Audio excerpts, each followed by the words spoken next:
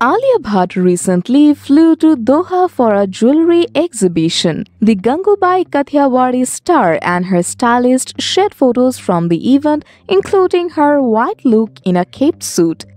Alia, who's married to Ranbir Kapoor, channeled her inner boss lady in the chic ensemble and slayed the look with utter perfection. However, the all-white getup also reminded us and many netizens of its similarity with Deepika Padukone's Alberta Ferretti white cape suit she wore for unveiling her Madame Tussauds statue in 2019. The resemblance is quite uncanny. Alia took to Instagram to share some pictures of herself from the exhibition, which were showered with praise from her fans, family, and friends.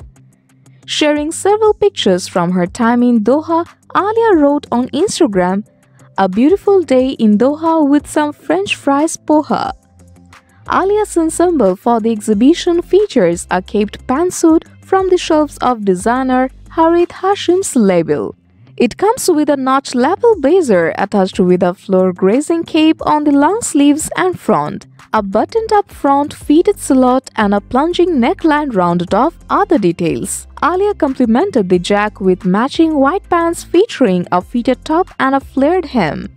A pair of bow-adorned black peep-toe high heels, diamond rings, dainty diamond earrings, and an emerald and diamond necklace added a dash of color to the ensemble.